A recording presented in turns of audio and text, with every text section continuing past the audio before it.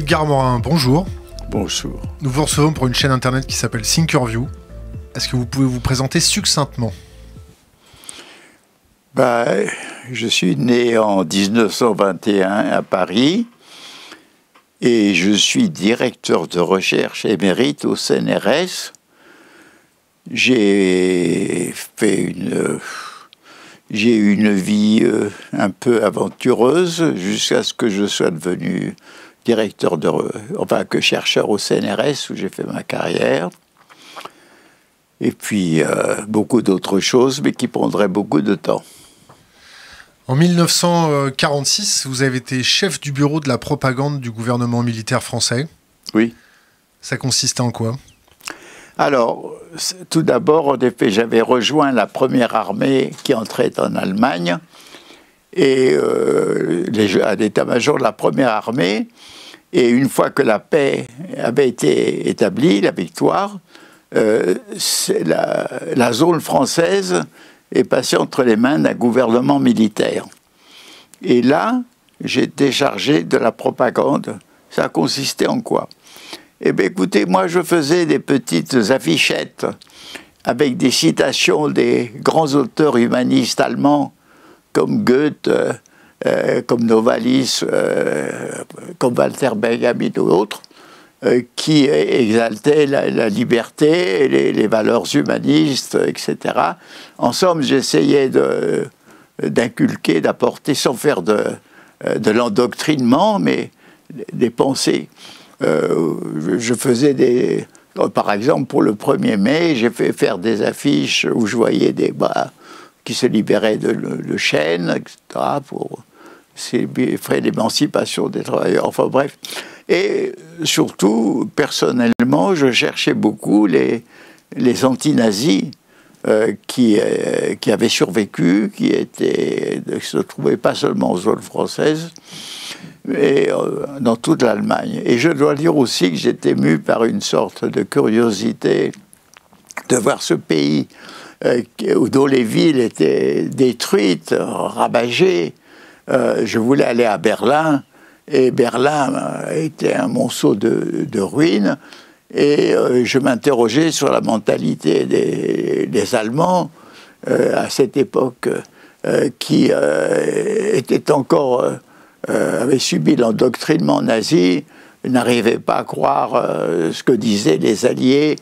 Enfin, et du reste, ça m'a poussé à écrire mon premier livre qui s'appelle L'an zéro de l'Allemagne, et qui était une sorte de reportage sociologique sur ce pays-là à ce moment-là. Mais je dois dire aussi que moi, quand j'ai fait la résistance, euh, j'ai fait la résistance contre le nazisme et jamais je n'étais anti-Bosch. Je veux dire, j'ai horreur de, de, ces mots péjoratifs pour les étrangers, même s'ils sont des, occupants. Et donc, si vous voulez, j'étais euh, j'espérais dans des forces de, résurrection démocratique de l'Allemagne. Et du reste, j'ai fait un article euh, qui est apparu dans des revues allemandes à l'époque, qui s'appelait Notre collaboration, pour montrer que cette collaboration qu'on propose est d'un type tout à fait différent que celle qu'imposaient les Allemands sous l'occupation aux Français, que c'était une, collaboration pour fraternellement faire renaître la démocratie. Bref, si vous voulez, j'ai fait cette, expérience grâce à ce poste qui me donnait beaucoup de, liberté. Et quand j'ai écrit mon, livre, je suis revenu en France. Maintenant, avec toute cette expérience, toute cette expérience que vous avez menée pendant pratiquement un siècle, vous avez 97 ans, euh, qu'est-ce que vous pouvez nous dire maintenant de la propagande actuelle, de l'état des médias? Est-ce que vous avez un point de vue critique sur euh, ce qui se passe en ce moment? Vous savez, la propagande est, un mot. Bon, j'étais chef de la propagande, mais euh, mon but n'était pas du tout d'inculquer des choses. La propagande, c'était quelque chose propre au régime totalitaire ou autoritaire euh, qui inculque leurs idées de façon monopoliste ma façon de concevoir la propagande, c'était de propager les idées humanistes démocratiques. Aujourd'hui, euh, si vous voulez, le mot propagande, euh, on ne sait plus très bien ce qu'il veut dire, mais s'il s'agit de vouloir à toute force promouvoir un, un, message, lequel message n'est pas fondé sur des faits, sur des choses vérifiées, mais sur des données trompeuses euh, ou des messages de caractère idéologique, xénophobe, raciste ou autre. Euh, donc, je pense que la propagande est mauvaise. Moi, je, je pense que l'important, c'était c'est l'information, et je dirais mieux que l'information, c'est la connaissance, parce que les informations euh, seules, on n'a pas de sens. Il faut comprendre pourquoi.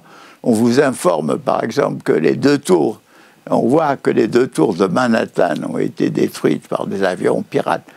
Et on se dit, mais comment? Il faut contextualiser, il faut comprendre. À l'état brut, on se dit, mais qu'est-ce que c'est? Et alors, donc, on a toujours besoin d'une explication qui donne le contexte historique, le contexte euh, psychologique, le contexte euh, nécessaire pour comprendre les événements. Donc, si vous voulez, moi, je crois qu'il y a deux choses importantes. La première, c'est que effectivement, il faut une pluralité de sources d'informations pour qu'on puisse être éclairé. Parce que si la seule façon de pouvoir chercher sa vérité, la vérité à travers, c'est une pluralité de sources. Quand vous n'avez qu'une seule source, comme c'était dans l'Allemagne itérienne, dans la Russie, dans l'Ursie stalinienne, dans la Chine Mao, ou même actuellement dans d'autres régimes, ben, les gens doivent avaler ce qu'on leur raconte et qui n'est pas vrai. On leur occulte beaucoup de choses et on leur raconte des choses qui sont fausses. Il faut une pluralité, pluralité d'opinions, pluralité de sources d'informations ça, c'est une chose capitale. Mais une fois qu'on a cette pluralité de sources d'information, il vous faut, alors à ce moment-là, un processus de, connaissance. Comment situer cette information dans notre histoire, dans les événements, d'où ça vient, d'où c'est? Parce que toujours, l'information est inséparable de la surprise d'un événement. Plus l'événement est, surprenant, plus l'information est importante. Par exemple, je vous ai cité les deux tours, je pourrais vous citer l'explosion de mai 68 qui n'était prévue par personne. Ce qui est important, c'est l'événement inattendu. Alors là, il faut essayer de comprendre d'où il vient et quelles vont être ses conséquences. Euh, même si on, fait des hypothèses, il faut, pouvoir, les faire. alors ça, c'est un travail des journalistes, des essayistes, euh, des, euh, des historiens. Mais moi, c'est ce que j'ai essayé de faire dans mes collaborations à, la presse. Par exemple, quand il y a eu mai 68, moi j'étais. La presse n'avait aucune antenne dans le milieu étudiant, on comprenait, rien. Moi, il se trouvait que j'avais des jeunes étudiants, collaborateurs, etc., qui étaient dans le mouvement, et qu'à partir de toutes mes sources d'information et que de ma présence dans ces événements, j'ai pu faire dans le monde des articles essayant d'éclairer l'événement. C'est ça le problème, il faut éclairer les événements. Vous avez un regard critique sur la presse du 21e siècle? La presse?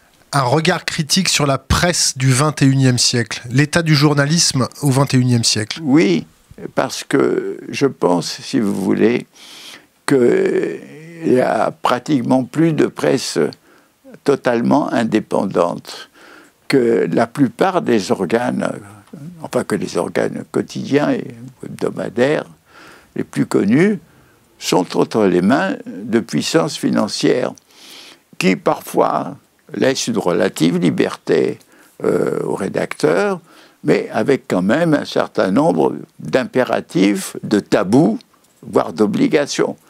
Donc, si vous voulez, euh, c'est vrai qu'on a une presse plurielle, euh, que le Parisien et le Figaro, c'est pas tout à fait la même chose que le Monde, que la Libération, mais c'est vrai aussi euh, que la, presse totalement indépendante est rare. Bon, vous avez le cas de Mediapart, qui est une presse pas écrite, mais qui est, disons, de type informatique à, travers Internet. vous pouvez avoir des, petites publications minoritaires euh, il y a encore possibilité de s'exprimer. Alors, il y a ça, et il y a aussi le culte du sensationnel. Et c'est vrai que, bon, les grands événements sont sensationnels, mais le besoin de sensationnel fait qu'on va sensationnaliser des événements minuscules, et surtout on va sensationnaliser des problèmes de vie privée, parfois soit indiscrets, euh, soit des liaisons d'un président de la République, euh, soit superficielles et superfétatoires. Moi, je vois le nombre de, dans mon euh, dans l'ordinateur, dans mon de mail de différents organes qui vous parlent de petites histoires de Brigitte Macron absolument insignifiantes. je veux dire qu'il y a aussi une, ce que disait très justement le philosophe Castoriadis, décédé malheureusement, il y a la montée de l'insignifiance. Euh, cette insignifiance se, traduit effectivement par des gros titres sur des petits riens, euh, sur tel présentateur de télévision euh, qui se fâche avec son invité, ou vice-versa. sur ce qu'a dit M. Éric Zemmour, sur ce qu'a dit... On est, on est dans un, on, est dans le, secondaire, l'insignifiant, les, petites phrases grotesques. Dans l'écume des choses. Hein dans l'écume des choses. Dans l'écume des choses, oui. Dans l'an zéro, euh, vous, vous parlez du somnambulisme en proie à la faim et aux rumeurs, pour décrire les Allemands. Oui. Qu'est-ce que vous entendez par ça? Est-ce que vous pouvez faire un parallèle avec si je peux me permettre de dire la population à l'heure actuelle, est-ce que notre population est dans un état de somnambulisme, en proie à la faim et aux rumeurs, aux fake news Alors, c'est une question très pertinente et avant d'y répondre, je vous parlerai de mon expérience des années 30 à 40 qui correspondent à mon adolescence et qui ont vu quoi? Elles ont vu d'abord la crise économique mondiale. Elles ont vu la crise de la démocratie en France avec les émeutes du 6 février 1934. Elles ont vu l'arrivée de Hitler au pouvoir. Elles ont vu l'annexion de l'Autriche par l'Allemagne. Elles ont vu la guerre d'Espagne où l'Allemagne et l'Italie sont intervenues pour la victoire de Franco. Elles ont vu les accords de Munich qui ont fait que finalement Staline a fait le pacte germano-soviétique. On a vu le pacte germano-soviétique, on a vu la guerre. Mais la montée vers cette chose-là se fait dans un état de somnambulisme. Quelques esprits disaient oui, attention, c'est dangereux, on va vers la guerre. Mais la plupart des gens ne se sentaient pas ou vivaient au jour le jour ou ne voulaient pas voir les choses. Et on est, on est entré dans. Et même si vous voulez, la déclaration de guerre a été faite dans un état de somnambulisme. Pourquoi? On déclare la guerre à l'Allemagne nazie parce qu'elle a envahi la Pologne. Très bien. Mais qu'est-ce qu'on a fait pour aider les Polonais? Rien. On n'a pas bougé. On déclare la guerre pour ne pas la faire. Et pour pendant un an attendre, c'est ce qu'on appelait la drôle de guerre, attendre l'invasion qui elle-même surprendre l'état-major incapable, lui-même somnambule, incapable de comprendre ce qui se passe. Donc, il y a eu, moi j'ai vécu cette époque-là, et je pense que dans des conditions différentes, nous vivons une époque de somnambulisme. On vit au jour le jour. Hein. Parce que si on essaye de regarder vers le futur, on est angoissé, on ne sait pas ce qui va arriver. Mais aussi, les politiques, elles ont, elles, ont perdu le sens de la prospective, le sens d'une voie vers l'avenir. On cherche simplement euh, un peu plus de croissance, s'il y a la croissance, un peu plus de PIB, un, budget plus équilibré. La, politique s'est réduite à, une économie, une économie elle-même au jour le jour. On va supprimer des postes pour alléger le budget, ah, on va en augmenter ailleurs. On est toujours. On n'a pas de pensée qui voit, qui essaye de voir où l'on va, qui essaie de voir les périls. Parce pourquoi somnambulisme?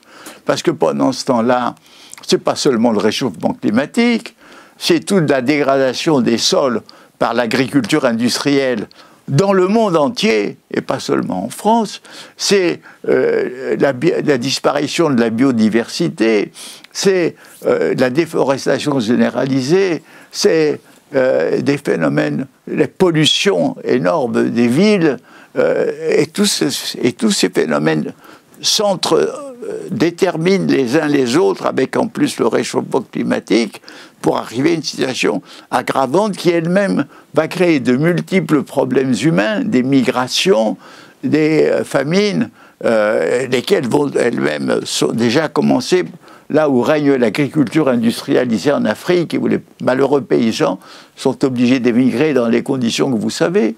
Donc, il y a un futur inquiétant. L'arme nucléaire se multiplie, elle se propage, elle ne sait pas qu'elle s'est arrêtée, euh, et puis elle va se miniaturiser. L'économie mondiale, les économistes euh, vous disent qu'on est à la merci d'une nouvelle crise, etc. On ne sait pas. En tout cas, cette économie-là produit beaucoup d'inégalités et par là est, productrice de futurs désordres. Euh, donc, si vous voulez, on est dans emporté dans un processus euh, très difficile à comprendre parce qu'on ne sait pas vers où il se dirige, mais en tout cas vers des, périls certains. Et donc, on, vit au jour le jour. Et donc, c'est vrai. Nous, euh, et c'est du reste ce que de temps en temps j'essaye d'énoncer, mais ça ne sert à rien. On ne réveille pas. On ne peut pas éveiller. On ne sait pas quand est-ce qu'on. c'est toujours au dernier moment qu'on est. D'ailleurs, on a été, nous, on a été, on s'est, on réveillé brusquement quand il y a eu la ruée des troupes allemandes euh, en France et que des millions d'entre nous ont, fui dans les routes. Hein. Mais Aujourd'hui, ça va pas être la même chose. C'est pas une puissance hégémonique comme l'Allemagne qui nous menace. C'est pas, mais la menace, elle est, beaucoup plus diffuse, beaucoup plus mélangée. Mais on voit que tout ça va s'entre-déterminer. Vous avez quand même aussi une nouvelle force internationale qui est le djihadisme. Euh, certes, c'est une minorité, une petite minorité dans le monde musulman, mais elle est partout euh, et elle elle est totalement fanatique. Alors, bien entendu, on dit, euh, on croit que c'est nouveau. Non, il y a eu des millions de morts provoqués par le goulag en URSS, il y a eu des millions de morts provoqués à Auschwitz sur. Et maintenant, ces gens-là commencent à massacrer. Bon, mais disons, on n'est pas sorti d'une barbarie. Et moi, je dis qu'aujourd'hui, euh, ça croit, disons, la force et la coalition de deux, deux barbaries. La première barbarie, nous la connaissons, elle s'était déchaînée pendant la Deuxième Guerre mondiale, et avec notamment le, nazisme. Et, cette barbarie-là, elle revient sous de nouvelles formes. Est-ce que, le capitalisme est une barbarie? Alors, on peut dire que ce qui est barbare, c'est le caractère incontrôlé et illimité du profit et aujourd'hui de la finance euh, qui contrôle un peu tous les secteurs. Le capitalisme n'est pas une barbarie tant qu'elle est contrôlée. Par exemple, tant qu'il y a eu l'État-providence, tant qu'il y a eu des, pouvoirs des syndicats, tant que ce pouvoir économique a été contrebalancé, il n'était pas barbare, il faisait partie de l'économie, il avait ses, ses, côtés très négatifs et ses côtés positifs. Là, aujourd'hui, il n'y a plus aucun contrôle, il, se déchaîne. Donc on, peut le considérer que c'est cette forme nouvelle fondée uniquement sur le profit et le profit financier. Et moi je dis que donc la barbarie, c'est évidemment la haine, c'est le massacre, c'est le mépris, c'est la torture, c'est toutes ces choses qui reviennent aujourd'hui, ici, là. Hein. D'ailleurs, vous savez, elle a fonctionné pendant la guerre d'Algérie et on nous le remet en mémoire fort heureusement maintenant, il y a cette barbarie. Mais l'autre barbarie, elle vient du cœur de notre civilisation, c'est-à-dire où domine le calcul, le profit, et on voit tout par des chiffres, et des chiffres qui empêchent de voir les problèmes humains qui sont parce que par le calcul, vous ne connaissez ni la souffrance, ni le bonheur, ni la tristesse, ni la joie. Et c'est le calcul, tous nos, dirigeants, nos technocrates, nos éconocrates, ils nous connaissent par le calcul. On est des objets de calcul. Et à mon avis, ces deux barbaries sont alliés. Déjà, ça avait commencé avec Hitler parce qu'à la barbarie des camps d'extermination, c'était allié une barbarie industrielle. On récupérait les cheveux, les dents, euh, les déchets euh, des, victimes pour en faire euh, de, nouveaux produits industriels. Donc, si vous voulez, ce sont ces deux barbaries qui nous menacent et, devant lesquelles nous sommes à peu près somnambules. Alors là, vous avez par exemple, devant, après la démission de Nicolas Hulot, euh, une partie de l'opinion commence à dire mais tiens, il y, a, beaucoup de lobbies financiers qui contrôlent les ministères, qui, empêchent telle politique.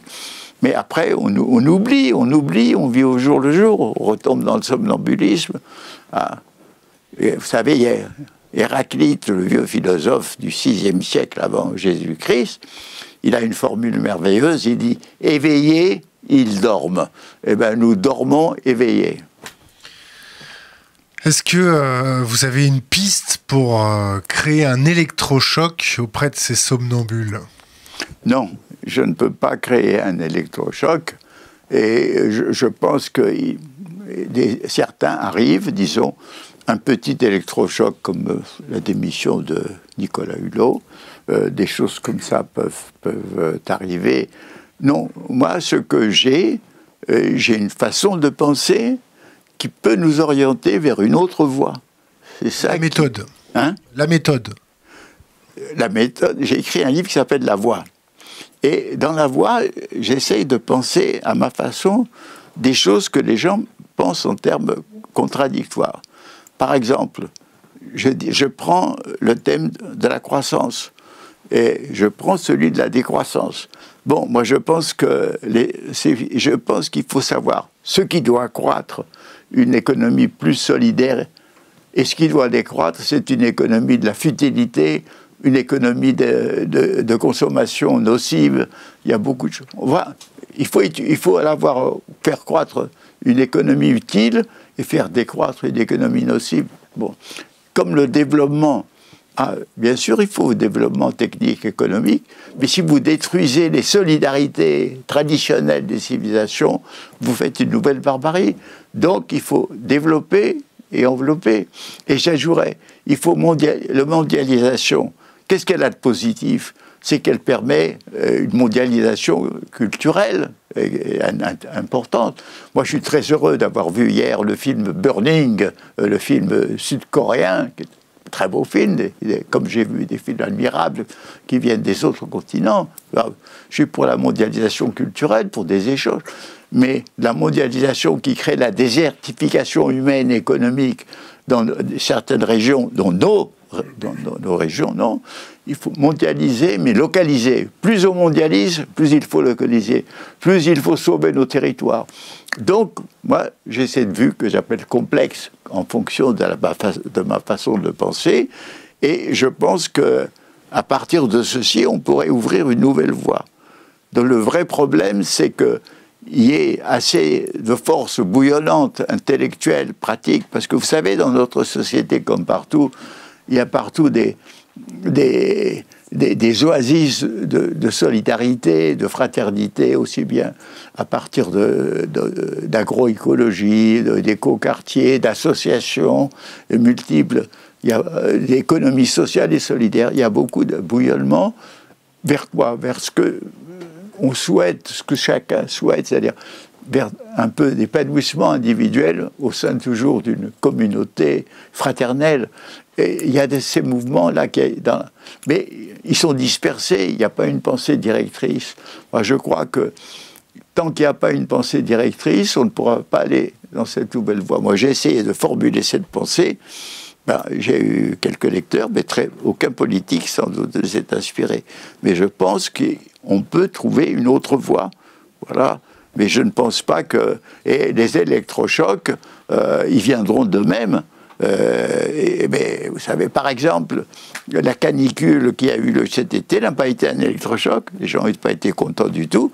Mais ils n'ont pas compris que c'était déjà la, prémonition d'un réchauffement. Quand Nicolas Hulot euh, parle d'effondrement, d'effondrement des espèces, d'effondrement des ressources, vous, euh, du haut de votre grand âge, ça vous fait penser à quoi? Ça, ça vous fait sentir la barbarie revenir? Ça vous fait penser à quoi? L'effondrement. L'effondrement, le collapse. Le collapse. Écoutez, moi je pense que euh, j'ai lu des livres intéressants sur la question. Euh, lesquels, lesquels? Ils sont très logiques. Ben, euh, c'est l'effondrement qui vient. C'est comment tout peut s'effondrer? Hein, voilà. Et bon, alors, dont les deux auteurs, je n'ai pas leur nom en tête, mais enfin. Pablo Servigne, non? Hein, bon, bon, enfin, écoutez, j'ai lu une bonne littérature. Je pense que les processus actuels y, conduisent, c'est logique. Mais je me, mon espoir, c'est que souvent, la vie échappe à la logique. C'est-à-dire qu'il survient des initiatives créatrices qui ne sont pas logiques. Disons que disons, l'apparition, si vous pensez euh, dans, le passé de, Bouddha, du prince euh, Sakyamuni, euh, qui a transformé, créé une nouvelle religion pour au moins une grande partie de l'Asie, c'était un événement imprévisible. C'est comme le christianisme qui était sorti un petit truc marginal dans une petite province de l'Empire romain, invisible aux contemporains et qui en trois siècles est devenu une religion. Ben, vous avez euh, l'imprévu, l'imprévisible, le créatif surgissent dans l'histoire. Moi, j'espère en tout ça. si je peux y contribuer, tant mieux. On fait quoi des religions des religions ouais, On en fait quoi? On les jette? On discute pas avec les eux? Vous savez, les religions euh, sont d'abord des religions. La religion la plus matérialiste, la plus technique, est en même temps la plus religieuse, ce sont les États-Unis. Un pays, ou plutôt l'Union soviétique, en 70 ans, a essayé d'extirper la religion orthodoxe, elle l'a rendue plus forte que jamais. N'essayons pas d'extirper les religions. Par contre, faisons un effort pour que les religions reviennent à leur source la meilleure. Alors, quelles sont les sources pour le, christianisme, c'est évident, c'est le message de fraternité de Jésus qu'on trouve dans les évangiles. Et c'est pas l'Inquisition, euh, c'est pas les croisades, hein, euh, c'est pas l'antijudaïsme, c'est pas tout ça. Non, c'est les sources, les sources qui ont animé aussi, euh, qui, ont animé depuis Saint François euh, jusqu'à l'abbé Pierre ou Mère Teresa. Bon, l'islam, la prière islamique, elle, comment, elle parle d'Allah, le clément et le miséricordieux. Donc vous avez aussi cet élément, ce qui n'empêche pas que historiquement, l'islam a été une religion conquérante, euh, brutale. Bien sûr, elle n'a pas commis euh, l'inquisition comme le christianisme, mais elle a eu aussi sa part de barbarie. Et aujourd'hui, il y a une partie, évidemment, qui est barbare. Mais ces religions devraient retourner à leur véritable source, Quant au, bouddhisme, bon, ces sources sont très pacifiques. Ce qui s'est trouvé, c'est que aujourd'hui, dans des pays bouddhiques où il y a euh, ou hindouistes, où il y a coexistence avec, des, avec de l'islam, le choc des deux religions transforme l'islamisme, non, l'hindouisme, pardon, ou le bouddhisme en entité agressive, euh. Donc ça, s'aggrave. Mais ces religions ont toute une, source.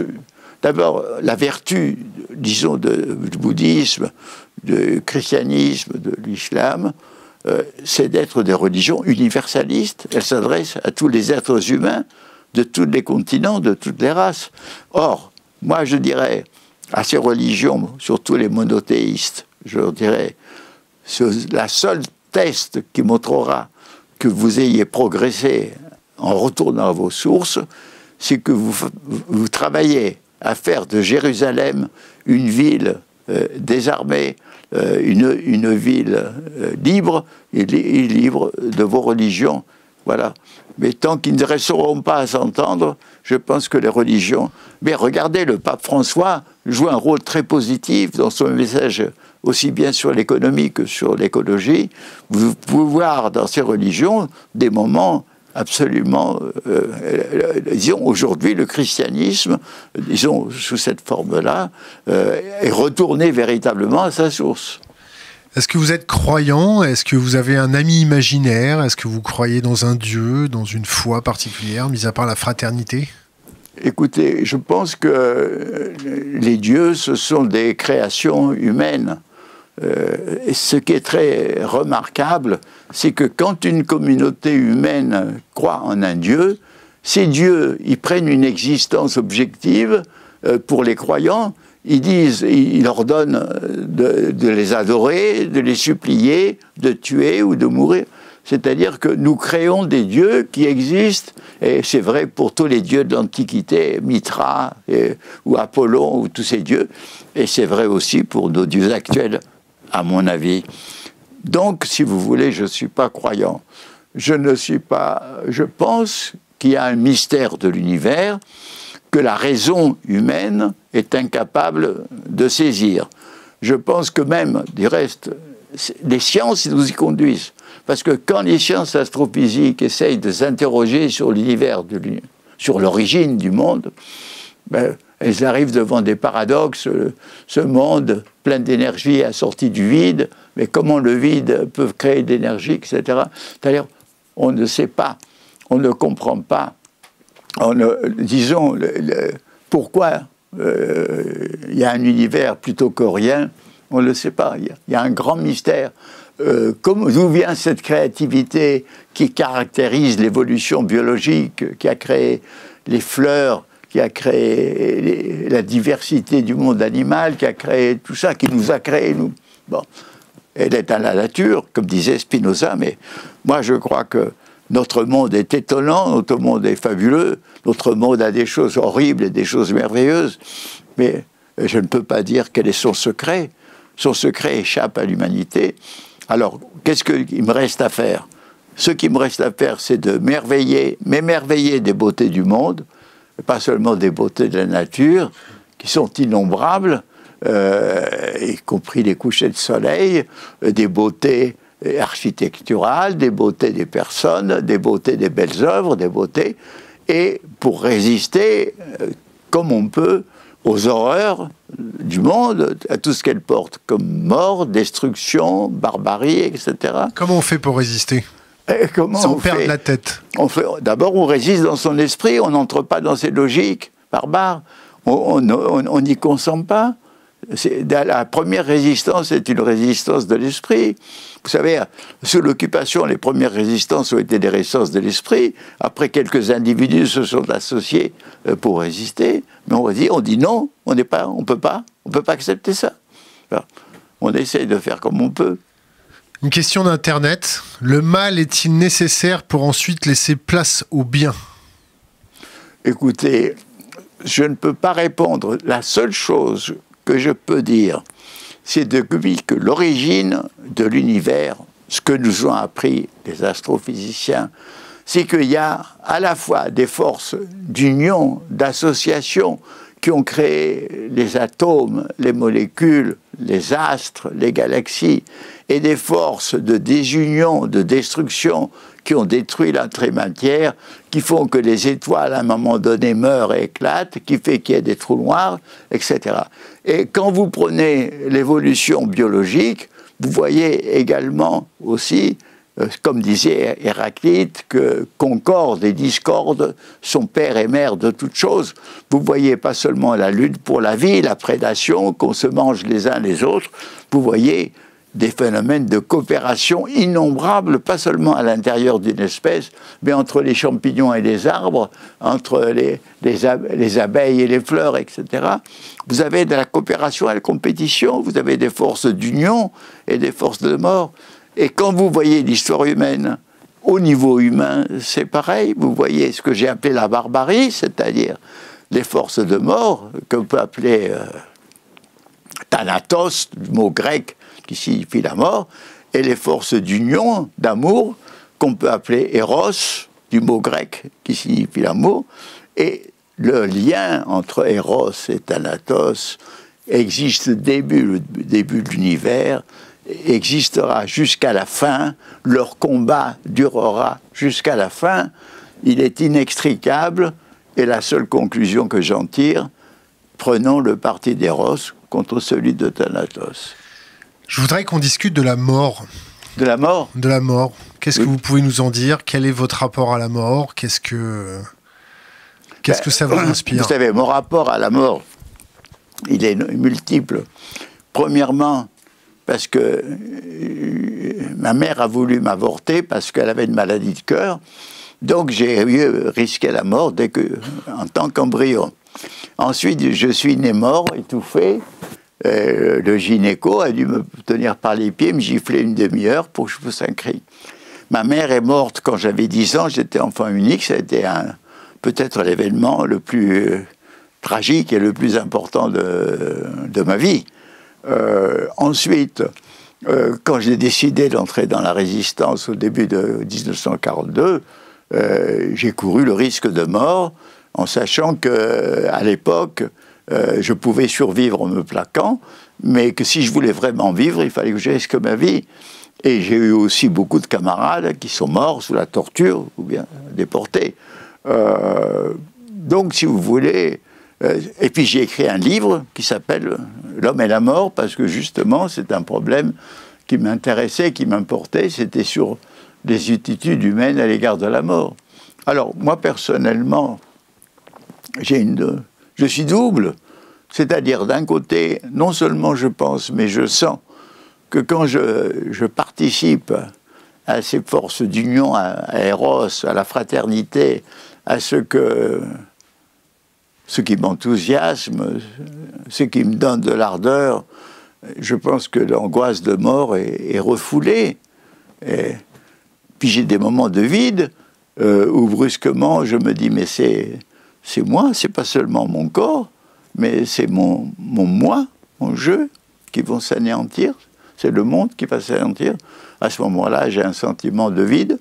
Et puis après, ça disparaît et je reviens à cette idée que euh, il n'y a que en, si vous voulez, dans la communion et dans l'amour que l'on trouve la riposte à la mort. Je dis, vous savez, le cantique des cantiques dit fort comme la, que l'amour est fort comme la mort. Il n'est peut-être pas aussi fort, mais il est très fort et peut la refouler. Revenons à des choses plus terre à terre. Emmanuel Macron, oui. Pour vous, c'est un bon président, un mauvais président? Qu'est-ce qu'il a amélioré? Qu'est-ce qui fait de choses? Qu'est-ce qu'il a comme euh, point positif? Vous savez, moi, c'est trop tôt pour que je lui mette une épithète de bon ou de mauvais président. C'est une personnalité, euh, tout d'abord, qui m'a frappé par son énergie, sa culture et, mais je dirais même euh, sa stratégie. Euh, j'ai aussi été sensible au fait que c'est un être qui a transgressé les coutumes bourgeoises provinciales en épousant une femme plus âgée qui était son professeur. Alors ça, ce sont toute une série de traits personnels. Mais il y a deux choses qui me mettent sur la réserve.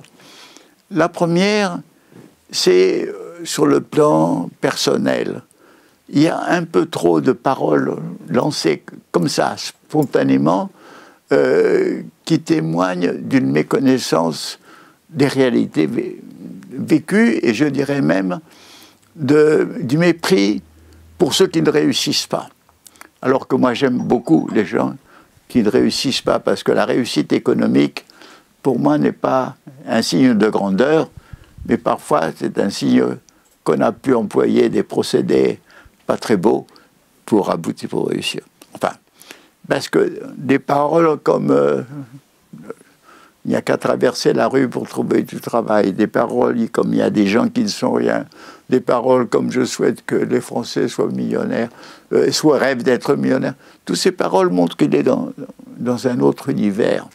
Et je pense aussi que son expérience économique fait qu'il est persuadé de la légitimité de ce libéralisme économique qui consiste à favoriser l'entreprise, c'est-à-dire finalement euh, les possédants d'entreprise, euh, qui en fait utilisent ces, subventions euh, pas, nécessairement pour l'investissement, mais pour la répartition des bénéfices en action.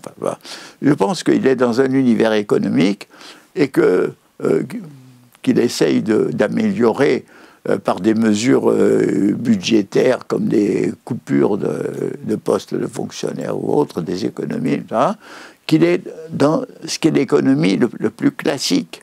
Bien entendu, il essaye sur le plan international de relancer l'Europe, de faire des choses, mais je pense que... Euh, alors, quel est mon espoir? Mon espoir, c'est que quelqu'un qui veut laisser sa marque dans l'histoire, s'il continue dans le sens actuel, il ne laissera pas une marque grande, parce qu'il continue la politique. On ne peut laisser sa marque dans l'histoire que si on suit une nouvelle voie. Et c'est un peu, disons un peu comme après la crise de 29, ce qu'a fait le président Roosevelt, qui a fait un New Deal. Aujourd'hui, je pense qu'il y a un New Deal possible français, mais sur la base d'abord des énergies propres, une politique massive pour les énergies propres, une politique de dépollution des villes qui à ce moment-là donnera du travail, des parkings, de la piétonisation, etc., de dépollution des campagnes avec euh, des pollutions de l'alimentation et de la consommation. il y a une grande politique possible euh, qui serait en même temps un exemple pour l'Europe et pour le monde. Et je pense que c'est j'espère qu'un jour, il pourra s'orienter là-dessus. Voilà. Mais euh, pour le moment, je suis sur l'expectative. Euh, je ne veux pas faire. Je ne suis pas un pamphlétaire, donc je ne tiens pas des propos anti-Macron.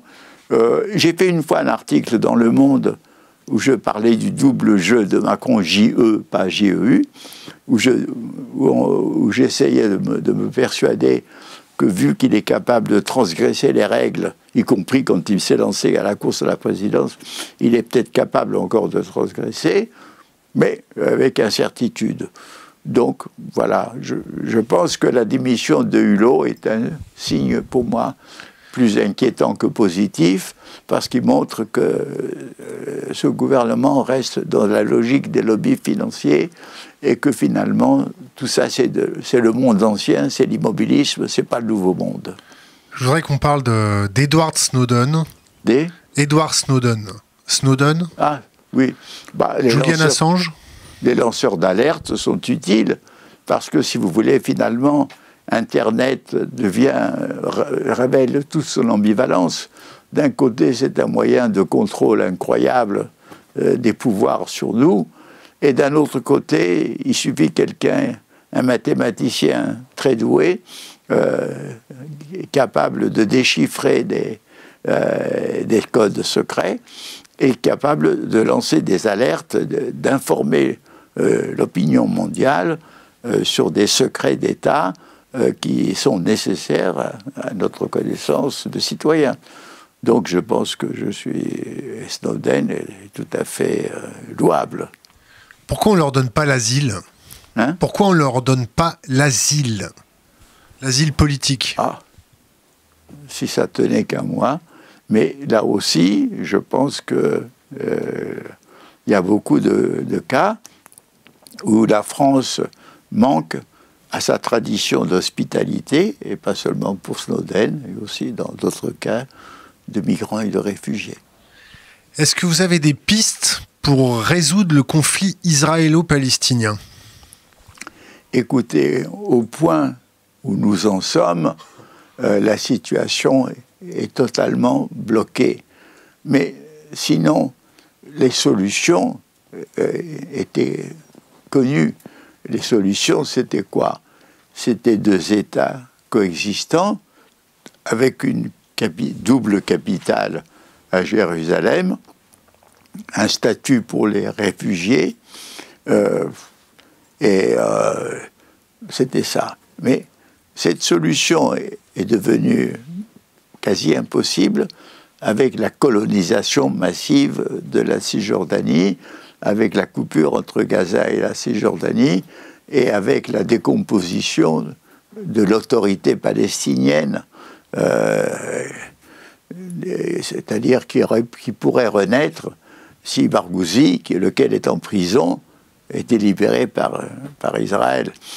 Donc, euh, actuellement, il est évident que s'il y avait la possibilité d'une conférence internationale sur l'ensemble des problèmes du Moyen-Orient, qui pourrait inclure la question israélo-palestinienne en même temps que Syrie, Irak, hein, euh, ce serait une chose utile. Mais pour le moment, nous n'en voyons pas les, possibilités. Donc, si vous voulez, moi, mon attitude, c'est que je n'oublie pas euh, un peuple malheureux, euh, un peuple qu'on tente à oublier, les Palestiniens, mais je ne vois plus euh, aujourd'hui de, de, pistes. voilà. Mais je sais que l'histoire est changeante, on peut trouver des conditions nouvelles. il y avait déjà cette proposition ancienne de l'Arabie saoudite qui correspond à ce que je vous ai dit, euh, mais actuellement, les alliances que conclut Netanyahou euh, un peu partout, et notamment avec des régimes européens comme Hongrie, etc., montrent que le pouvoir de droite israélien se fortifie sur le plan international et sur le plan local. Et actuellement, je ne vois pas d'issue. Est-ce que vous connaissez Krishnamurti? Ah oui, je l'ai lu, oui. Oui. Eh ben, c'est un, un sage, c'est un, Oui, bien sûr. Qu'est-ce que vous gardez de, de, son enseignement? Écoutez, je garde une, tentative d'arriver à une vision du monde plus sereine, plus ouverte, plus cosmique. C'est je, je, pense. Et vous savez, il y a Krishnamurti, mais il y, a, il y avait auparavant, votre génération ne les connaît pas, c'était Romain Roland qui avait écrit euh, des livres sur la, vie de Ramakrishna, la vie de Vivekananda, euh, d'Aurobindo, c'est-à-dire c'était des, sages syncrétistes hindous euh, qui, en quelque sorte, prenait le meilleur de la culture occidentale et le meilleur de cette culture hindouiste, comme Krishnamurti. Et dans le fond, moi, je, pense que c'est très bon parce que nous devons prendre beaucoup aussi de, de l'Orient. Euh, là aussi, euh, c'est comme dans l'Occident, il y a des choses, un humanisme merveilleux, surtout quand il est sensible à la souffrance, comme l'humanisme de Tolstoï ou de Dostoïevski. et vous avez aussi euh, vous avez quelque chose aussi d'un sentiment humaniste et cosmique beaucoup plus large en Orient. Et vous avez en Chine la double tradition, de Tao et confucéenne, qui sont des traditions très riches. Et tout ce qui peut un peu euh, mettre ensemble euh, pensées et ses sagesses est, bon. Et ça va dans le sens d'un universalisme enrichi. En ce, moment, en ce moment, on parle beaucoup de la montée des populismes. Est-ce que vous avez un regard critique sur euh, ce qui est décrit comme la montée des populismes. Écoutez, je passe mon temps à penser que l'utilisation du mot populiste, qui est un mot très sympathique, pour euh, stigmatiser des politiques antipathiques, ça n'a pas de sens, d'autant moins de sens que le populisme a existé en Amérique du Sud comme mouvement d'émancipation des peuples qui étaient soumis à la féodalité aristocratique, terrienne et militaire. Les populistes, il y a eu l'APRA au Pérou, il y a eu dans des... Donc le mot populiste euh, n'est pas adéquat. On n'a pas trouvé le mot qui convient. Alors moi, j'emploie le mot des systèmes néo-autoritaires. Des systèmes néo-autoritaires, semi-post-démocratiques, enfin, il n'y a peut-être pas de mot.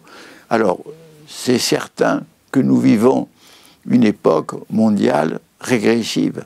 dans cette époque mondiale régressive, nous voyons non seulement la décomposition euh, et la crise des démocraties euh, qui sont en plus vides de tout connu, mais de plus en plus l'idée qu'il faut euh, trouver dans un chef charismatique le guide et la solution.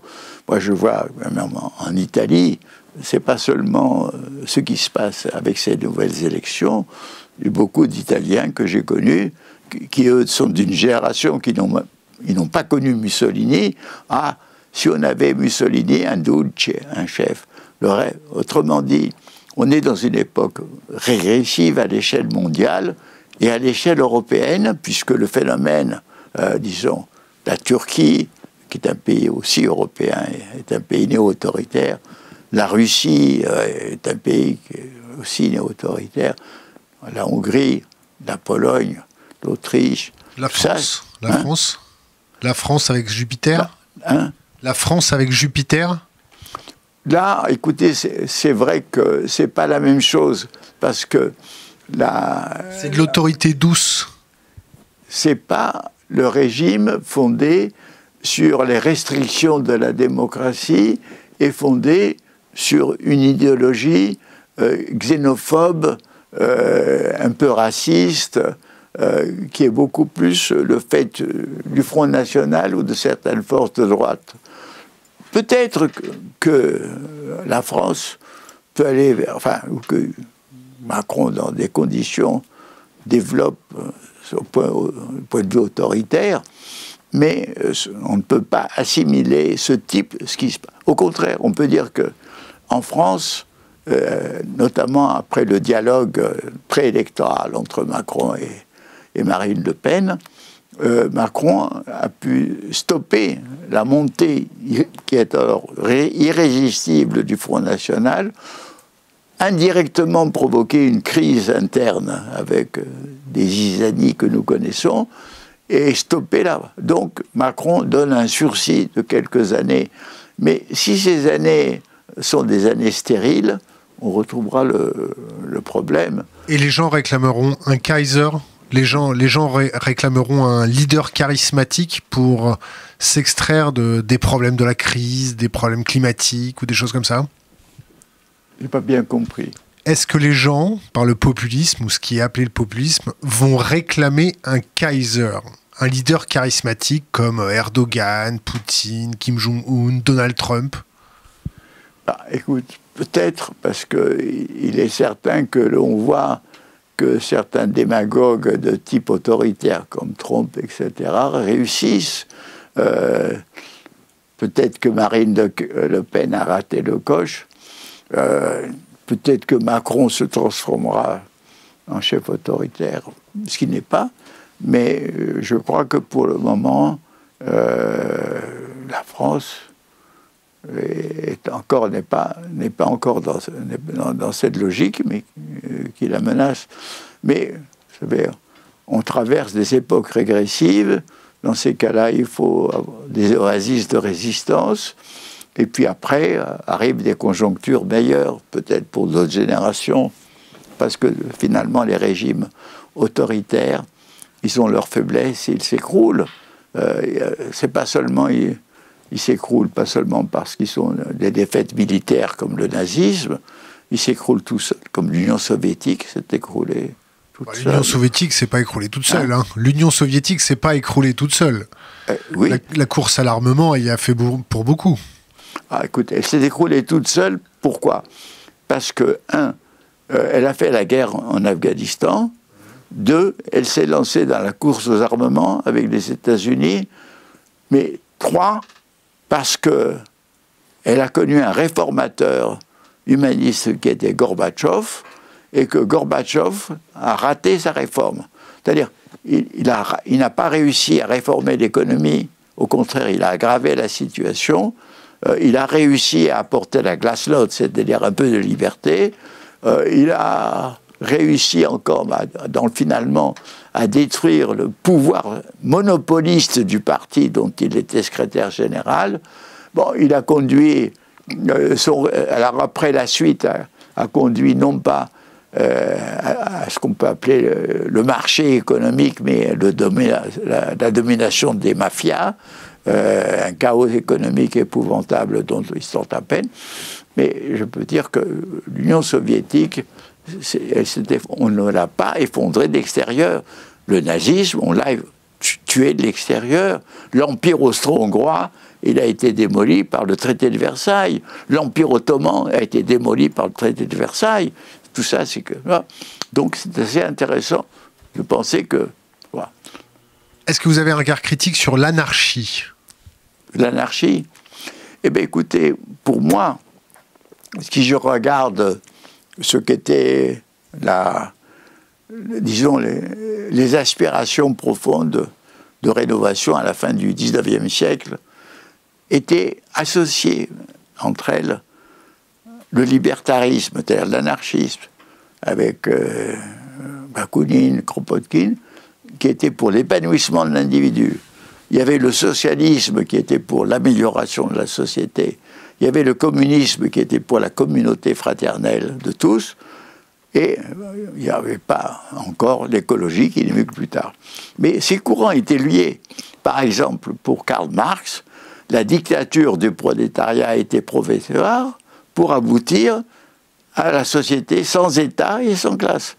Et d'ailleurs, c'est ce que Lénine écrivait peu avant la révolution de 17 dans son livre L'État et la Révolution. Donc, le communisme marxisme avait pour finalité l'anarchie. Ce n'était pas entièrement opposé. Mais tous ces mouvements se sont opposés, et opposés avec violence. Les communistes ont détruit les socialistes, et quand il y a eu des tentatives communistes après la guerre de, 18, les socialistes ont détruit la révolution communiste. Donc, mais moi, mon idée, c'est qu'il faut relier euh, ces aspirations et qu'il faut respecter l'aspiration libertaire, qu'il faut l'intégrer. Et d'ailleurs, je pense qu'en France, euh, cette euh, tradition était assez occultée par la tradition marxiste, etc. Mais moi, j'ai connu des merveilleuses personnalités anarchistes, comme May Picret, euh, qui était une, femme libertaire, et qui, du reste, pour montrer que son euh, son écuménisme, elle a, elle a voulu avoir un enfant noir, un enfant peau rouge et un enfant juif. C'est-à-dire, euh, mais euh, il y a pas mal de. J'ai fréquenté des, des, libertaires et aujourd'hui encore, il y a ce centre libertaire rue des Vignoles, surtout qui maintient la mémoire des libertaires espagnols. Parce que moi, mon premier acte politique, quand j'avais 15 ans, c'était la guerre d'Espagne. Je suis allé à Solidarité internationale antifasciste, qui était un organisme libertaire, pour des colis à la colonne du Routi, qui était la colonne libertaire, et aux anarchistes de Catalogne. Moi, avant de pouvoir, d'être pendant la guerre communiste, j'ai sympathisé avec tous ces mouvements qui ont été exterminés en Espagne, pas seulement par Franco, mais aussi par les communistes et les républicains, le POUM, qui était un mouvement gauchiste, et les libertaires. Donc, si vous voulez, moi, je, euh, respecte beaucoup les, libertaires. Et dans France, nous avons eu quand même Brassens est un bel exemple euh, de libertarisme. Euh, Michel Onfray, enfin, euh, qui est un type un peu excessif, mais enfin quand même. moi, je, moi, je crois qu'il faut reconnaître l'intérêt de la pensée libertaire en France. Vous avez un avis sur Michel Onfray? Hein? Vous avez un avis sur Michel Onfray? Il exagère. Ah ouais, on confirme. Il exagère. Mais enfin, il a fait des choses positives, comme son université populaire à Caen, mais je pense que dans ces polémiques, que ce soit contre Freud, contre Alain, contre tout ça, il se déchaîne, il, il exagère. Mais sinon, c'est un esprit laïque, intéressant, libertaire, mais voilà. On lui a raccroché au nez hier. Hein? On lui a raccroché au nez hier. On lui a raccroché au nez? On lui a raccroché au nez. Qui? Nous? Ah oui? Ouais, ouais, bon, c'est un détail. Euh, est-ce que vous avez un modèle alternatif au capitalisme? C'est une question Internet, je vais la répéter un peu plus fort, puis je vais me rapprocher. Quel modèle alternatif au capitalisme? Alors, il n'y a pas de modèle. Ce qu'il y a, c'est qu'il faut, il y a une voie, une voie qui consiste à refouler progressivement parce qu'on ne peut pas rien faire, on ne peut pas faire aucune révolution. Et même si vous faites de l'impôt sur le, les grosses fortunes, elles s'évadent toutes à l'étranger. Donc c'est pas ça. Vous ne pouvez pas rien faire. Vous ne pouvez pas le supprimer, rien. Vous pouvez refouler. Si dans les campagnes, vous favorisez l'agriculture, l'agroécologie, l'agriculture fermière, l'agriculture raisonnée, vous repoussez le pouvoir de ces énormes forces économiques euh, bon. Si dans l'alimentation, dans la consommation, euh, vous changez les habitudes, ne serait-ce qu'en vous nourrissant du local, en évitant de prendre les produits euh, en hiver qui, qui viennent de l'été du continent, de l'hémisphère austral, en, éliminant ces, ces, produits insanes, sucrés, qui donnent l'obésité aux jeunes. Euh, en, évitant les produits futiles qui donnent soi-disant la beauté, etc., en, évitant, en, en choisissant les, produits qui n'ont pas d'obsolescence programmée pour se détruire au bout de 10 ans et en favorisant les produits durables et leur réparation, on peut progressivement refouler les puissances dominantes de l'argent et progressivement créer un mieux vivre qui s'étendra. Voilà les choses possibles, mais tout dépend de la conjoncture mondiale, tout dépend du reste, mais ça c'est possible. On arrive à la fin bientôt de notre interview. J'ai deux, deux, deux, petites questions, trois petites questions encore. Qu'est-ce qui tient votre compte Twitter? C'est vous? Ah, Bien sûr, vous me prenez plus pour qui? Bah, bah, bah, moi, je, moi, ça m'indigne quand on pense que j'utilise des nègres euh, pour faire mon compte. J'ai tout ce que j'ai écrit, je l'ai écrit personnellement. Je n'ai jamais utilisé de nègres. Et quand j'ai eu des collaborateurs, j'ai donné leur nom. Alors mon compte Twitter est intégralement de moi. C'est un compte Twitter de quelqu'un qui a 25 ans, non? De D'un gamin de 25 ans? Ouais. Écoutez, il y a de tout. Mais il y, a des, quand il y a des choses qui m'amusent et des choses très sérieuses que je dis. Euh, vous savez, ce qui, a, ce qui me plaît, c'est d'abord de pouvoir un peu espérer s'aimer des pensées qui me viennent et que je trouve soit intéressantes, soit utiles, soit amusantes. D'ailleurs, je, parfois, je, je, je, glisse des idées qui correspondent à la pensée complexe qui m'anime, à mes à mes propres pensées. Bon, parfois je cite des, auteurs qui me, qui me plaisent pour que, donner du plaisir à, ceux qui suivent mes comptes Twitter. Et parfois vous partagez des petits chats. Hein? Parfois vous partagez des petits chats. Oui, oui, mais, oui, parce que j'adore les chats. Bienvenue sur Internet. Mais oui, mais écoutez, mais oui, mais écoutez, parce que moi je suis quelqu'un qui j'ai toutes les dimensions de l'existence.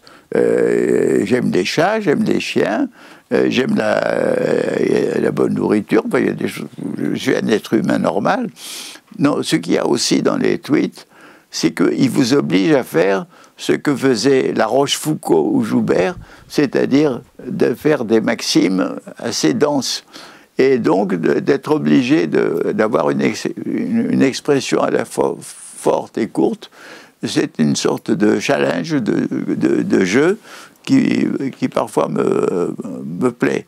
Et puis le fait que, sans le vouloir, j'ai maintenant 109 euh, 000 euh, followers, euh, fait que maintenant, je me sens, de même qu'on est obligé de donner la béquée aux petits oiseaux là, qui viennent vous trouver, je me sens obligé de donner la béquée, et c'est-à-dire de, de dire, mais ce qui me sort par la tête, que, ce qui m'intéresse, ce qui m'arrive. Voilà. Et vous en prenez beaucoup quand même de vos 100 109 000 followers. Hein? On voit que vous partagez beaucoup de, des publications qui ne sont pas de vous, c'est-à-dire vous imprégnez de l'Internet beaucoup. Oui, mais je, euh, oui, parce que je fais des lectures et parfois je tombe sur un auteur qui dit une phrase qui m'intéresse Je suis tombé l'autre fois sur une phrase de Lichtenberg, cet écrivain allemand de la fin du XVIIIe siècle qui m'a plu. Je, je, l'ai mise, voilà. Euh, bah, je, je, veux faire partager des choses qui m'intéressent. Une question un peu plus personnelle, vous n'êtes pas obligé d'y répondre. Je voudrais savoir la, la symbolique de vos bagues. De ma symbolique? De vos bagues. Est-ce que vos bagues ont une symbolique particulière ah Bah écoutez, bah oui, parce que il y en a une, ben, c'est une bague que j'avais trouvée dans un musée. C'est copié sur le modèle égyptien et on voit euh, à Mon-Ra, le dieu égyptien, le dieu du soleil. Ben, cette bague m'a plu, je l'ai achetée, je la garde. L'autre, ça, c'était mon père euh, qui, quand je suis né, m'avait offert un petit collier en or. Et quand j'ai grandi, il a transformé le collier en bague, et j'ai cette bague depuis mon enfance. Je la garde. Elle n'arrive même plus à sortir. Bon. Là, c'est mon alliance. Et là, eh ben, c'est une bague euh, où il y a les syllabes sacrées bouddhistes ou hindouistes. Voilà. Donc c'est un peu euh, la mystique orientale qui se trouve là. Là, c'est la religion égyptienne parce qu'elle était très belle. Et puis voilà. Alors pourquoi est-ce que j'aime les bagues? J'en sais rien. Euh, on pose toujours la même question à nos invités. C'est laisser un, c'est d'ailleurs pas une question, c'est laisser un conseil pour les jeunes générations. Bien, tout à l'heure, je, vous ai dit que euh, le monde était livré à une sorte de combat entre Eros et Thanatos. Et je dirais que, bien entendu, euh, plus ils prennent le, parti de tout ce qui est fraternel, de tout ce qui est amour, euh, plus ils seront bien, même à travers les périls. Mais la chose que je leur dirais aussi, c'est que certainement, ils vivent une situation de précarité, souvent, euh, d'incertitude quant à leur avenir. Euh, mais je leur dirais, c'est vrai, mais moi aussi, je suis euh, d'une génération qui a vécu beaucoup d'incertitudes, avec en plus la, guerre et l'occupation. Et dans le fond, on est dans une aventure humaine qui a toujours été tourmentée et dans lequel on est inséré, qu'on le veuille ou non. Alors, je veux dire, sachez que vous êtes un moment dans cette aventure, que vous y participez. Essayez d'y participer de la meilleure façon. Et je leur dirais aussi, qu'est-ce que c'est qu'une vie bonne? Une vie bonne, c'est une vie où l'on peut euh, épanouir ses propres aptitudes, ses propres aspirations, mais au sein d'une fraternité, d'une communauté et de l'amour. Euh, Ce n'est pas l'égoïsme fermé, c'est pas se fondre dans une communauté fanatique et croyante, c'est à la fois l'un et l'autre ensemble. Je dirais, vivez, ça c'est la vie, allez dans ce sens. Voilà ce que je leur dirais. Edgar Morin, merci. Voilà.